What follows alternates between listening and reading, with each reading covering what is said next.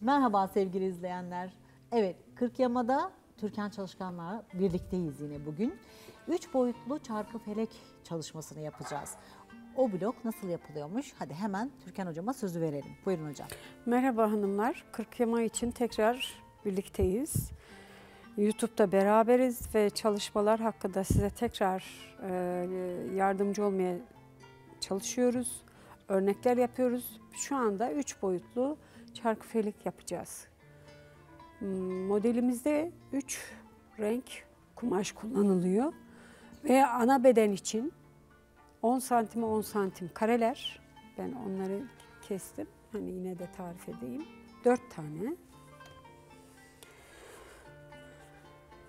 4 tane ana beden için renk belirledim. Ee, ve üstündeki e, üçgenler için iki renk belirledim. O nedenle 3 boyutlu diyoruz. Ve yine karemiz 9'a 9, içteki kareler 9'a 9, ana zemindeki kareler 10'a 10 olarak keseceksiniz. Diyeceksiniz ki hocam bunlar tek renk olmaz mı? Olabilir. Kendi renginden de olabilir. Ama biz adına 3 boyutlu dediğimiz için 3 renk kullanıyoruz. Şimdi kareme göre benim kalıbım 9 santimlik. Kareme göre kalıbımın kenarından kesiyorum kumaşımı. Kesim panomda.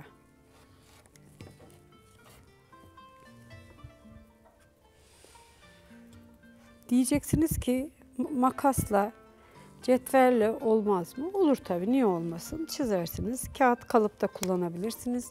Hazır kalıpta kullanabilirsiniz. Ve ben kumaşı ikiye katladım. İki rengimi beraber kestim.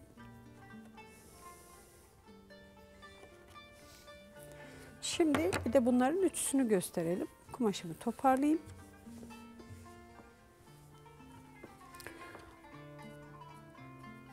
Üç, katlanmış üçgenleri, katlamalı üçgenleri yapabilmek için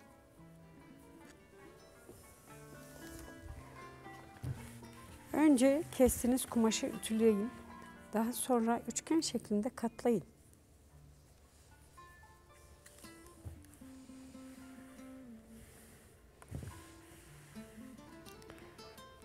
Ve tekrar katlamanızı istiyorum.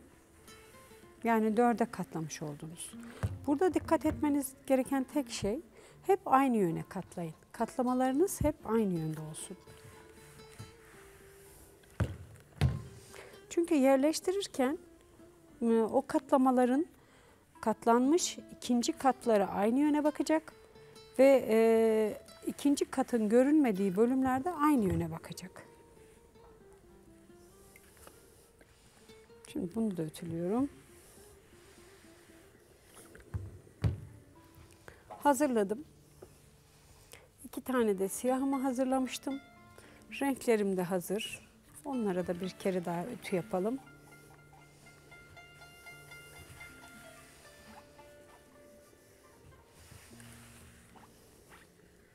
Ne kadar çok ütü kullanırsanız sizin çalışmanız açısından çok rahat olacak. Şimdi yerleştirme yapalım. Önce yerleştirelim. Sonra makineye gidelim. Karelerimi koydum. Ve benim çarkı feleklerimin iki katı açık olan yer. Yukarı baksın istiyorsam hepsini aynı yapacağım. Bir de şuna dikkat etmeniz gerekiyor. Orta noktada 1-2 milim yukarıya kayacak üçgenimin ucu. Ama yukarıda 6 milim kadar boşluk kalacak. Çünkü bloklar birleşirken üçgenime zarar gelmesin. Tekrar devam ediyorum. Renkler birbirine e, paralel dönüşler yapacak.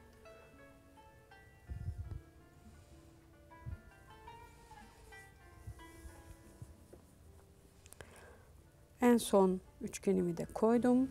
Birleştirmeye geçiyorum.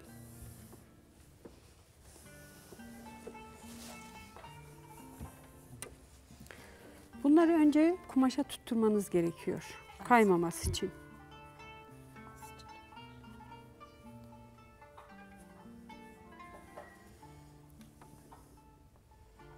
Yine hep söylediğimiz gibi bir makine ayağı yani 5 milim.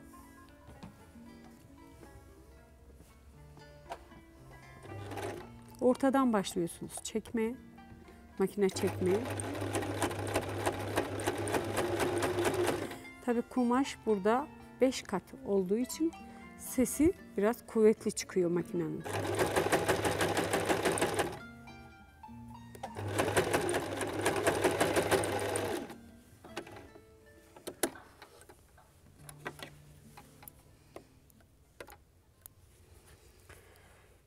Ben iplerimi genelde keserim.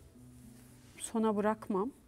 Sizden de bırakmamanızı yani tavsiye ederim. Rahat edersiniz.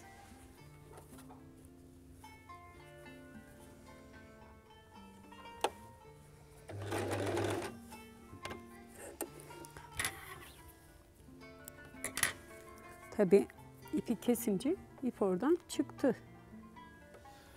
Devam edelim.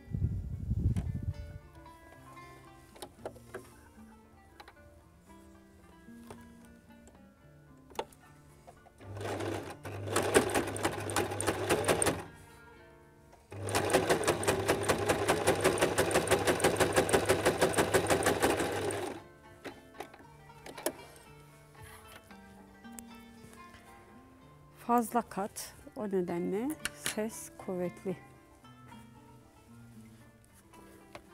Üçgenleri birleştirirken dikkat ettiğim tek nokta sırayla olduğu yerden kaldırmadan sırasıyla yapıyorum.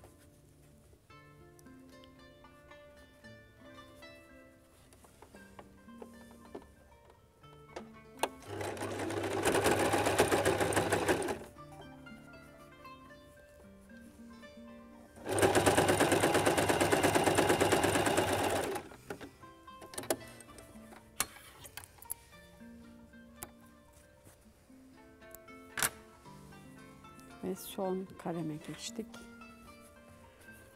Makine dikişi yaparken kumaşa uygun renkler tercih edilebilir ama bu 40 yama tabii ki birine uyan renk diğerine uymaz.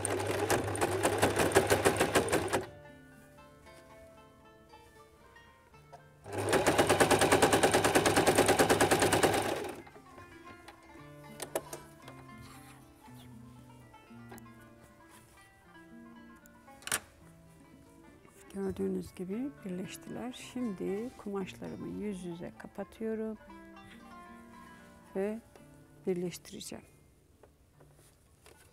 Yine hep diğer çalışmalarda da dediğim gibi orta noktadan başlıyorsunuz.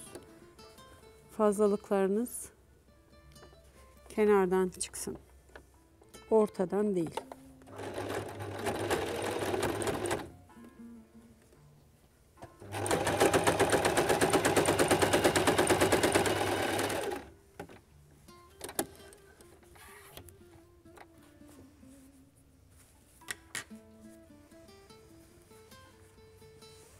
Şu an hepsi ayağa kalkacak. Ütüde onlar düzelecekler. Tırnak ütüsü yapalım.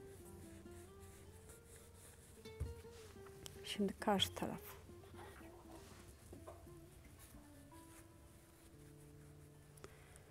Çünkü niye ortadan başlayalım dedik onu da göstereyim. Ve niye bir iki milim geriden yerleştirdik? Bakın baktığınız zaman bunlar birbirine komşu olarak dip dibe geldiler. Eğer bu boşluğu vermezseniz üst üste gelirse sizi birleştirirken zorlar ve makine iğne kırar.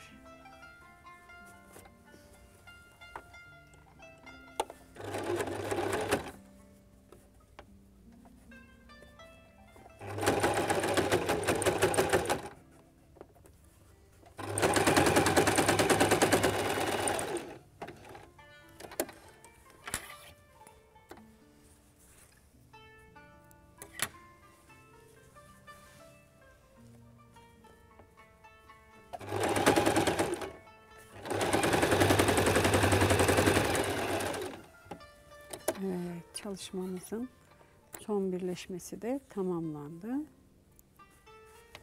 Şimdi ütülememiz gerekiyor.